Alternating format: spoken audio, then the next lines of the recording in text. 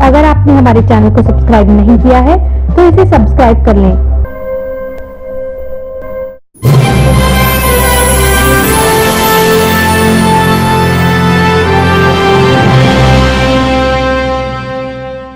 बठिंडा में आठवां Natyam national theatre festival होने जा रहा है, जिसकी शुरुआत 2 अक्टूबर को होने जा रही है, जिसकी जानकारी आज बठिंडा साथ प्रेस वार्ता के दौरान अधिकारियों ने दी। कहा कि जो नाटक हम शुरू करने जा रहे हैं, पंजाब के साथ हरियाणा, हिमाचल से भी नाटक कलाकार पहुँच रहे है। यह फेस्टिवल रोजगढ़ में हो रहे है, जिसमें खास तौर आरोप जम्मू कश्मीर ऐसी पहुँच रहे हैं लोगो। बहुत ही प्यारे दर्शकों, सारा नमस्कार, जय हिंद।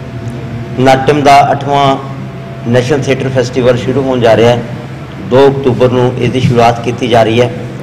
ਸੋ ਸਾਰੇ ਹੀ ਦਰਸ਼ਕਾਂ ਨੂੰ ਬੇਨਤੀ ਹੈ ਕਿ ਉਹ ਕਿਰਪਾ ਕਰਕੇ ਸਾਡੇ ਇਸ ਫੈਸਟੀਵਲ ਦਾ ਹਿੱਸਾ ਬਣ।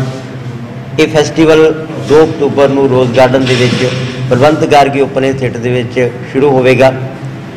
ਇਸ ਫੈਸਟੀਵਲ ਦੇ ਵਿੱਚ ਪੰਜਾਬ ਦੀਆਂ ਜੋ ਮਸ਼ਹੂਰ ਥੀਏਟਰ ਟੀਮਾਂ ਨੇ, ਜਿਨ੍ਹਾਂ ਦੇ ਵਿੱਚੋਂ ਡਾਕਟਰ ਆਤਮਜੀਤ ਜੀ ਕੇਵਲ ਧਾਲੀਵਾਲ ਅਨੀਤਾ ਸਬਦੀਸ਼ ਜੋ ਕਿ ਥੀਏਟਰ ਵੀ ਕਰਦੀ ਹੈ ਤੇ ਨਾਲ ਨਾਲ ਫਿਲਮਾਂ ਵੀ ਕਰਦੀ ਹੈ ਉਹ ਆਪਣੇ ਨਾਟਕ ਇੱਥੇ ਲੈ ਕੇ ਆ ਰਿਹਾ ਹੈ ਇਸ ਤੋਂ ਬਿਨਾਂ ਪੰਜਾਬ ਤੋਂ ਇਲਾਵਾ ਜੰਮੂ ਕਸ਼ਮੀਰ ਤੋਂ ਵਿਸ਼ੇਸ਼ ਤੌਰ ਤੇ ਸਾਡੇ ਕੋਲ ਇੱਕ ਟੀਮ ਆ ਰਹੀ ਹੈ ਹਰਿਆਣਾ ਜੈਪੁਰ ਤੋਂ ਬਹੁਤ ਹੀ ਖੂਬਸੂਰਤ ਟੀਮ ਸਾਡੇ ਦਰਮਿਆਨ ਪਹੁੰਚੇਗੀ ਫਰੀਦਾਬਾਦ ਤੋਂ ਚੰਡੀਗੜ੍ਹ ਤੋਂ कैमरामैन कुलविंदर सिंह के साथ अनिल कुमार की रिपोर्ट अगर आपने हमारे चैनल को सब्सक्राइब नहीं किया है तो इसे सब्सक्राइब कर लें